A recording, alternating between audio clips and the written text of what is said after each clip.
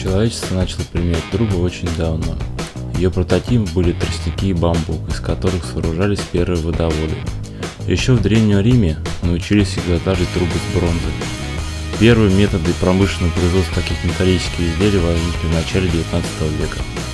В настоящее время выпускают миллионы и миллионы тонн продуктов, без которых не могут обойтись огромное количество отраслей хозяйственной деятельности человека.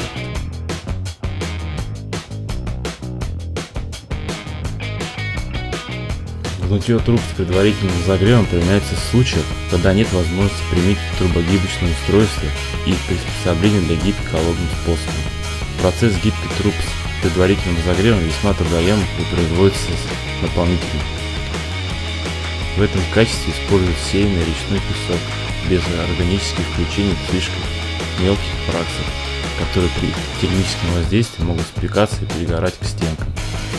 Песок не должен быть влажным, чтобы исключить возникновение высокого давления пара в трубе при ее нагреве. Гибка стальных труб производится при температуре порядка 900 градусов, без пережога, с одним нагревом, иначе ухудшается качество продукции. Размер разогреваемого участка определяется сечением и радиусом гибки. По окончании процесса удаляет заглушки, извлекает песок, очищает и промывает полость трубы.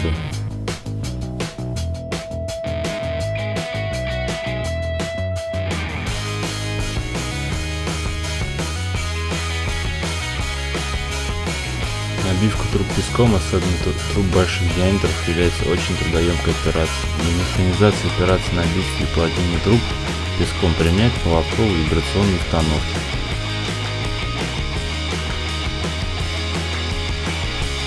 При отсутствии специальных установок песок в трубах уплотняет вручную, постепенным обстукиванием труб молотком. Ударом молотком по трубе наносит снизу вверх, при одновременном ее поворачивании до тех пор, пока при ударе по трубе не будет слышаться глухой звук. Для выхода газов, образующихся при нагреве труб в пробках, вставляем в нижнюю и верхнюю часть труб сверляет отверстие.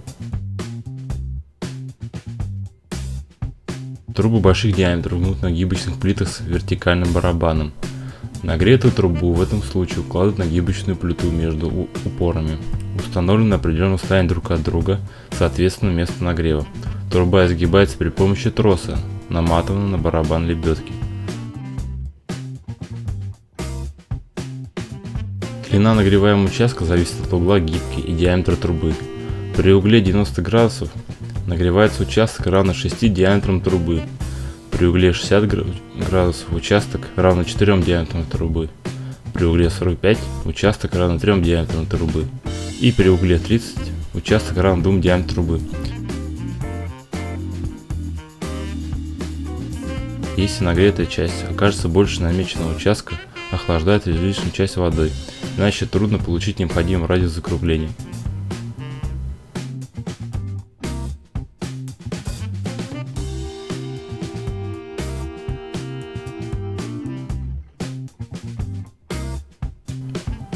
При гибке труб следят, чтобы равномерно вытягивались внешние стенки и досадилась внутренняя стенка трубы.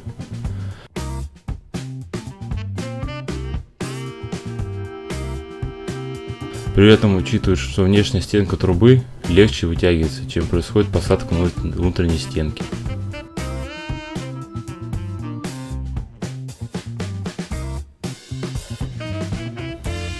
Трубы гнут плавно, без рывков, иначе в месте гиба могут появиться складки.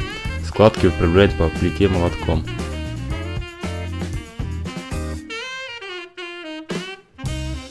С этой целью трубу сначала гнут на большой угол, чем следует по шаблону, а затем отгибают в соответствии с шаблоном.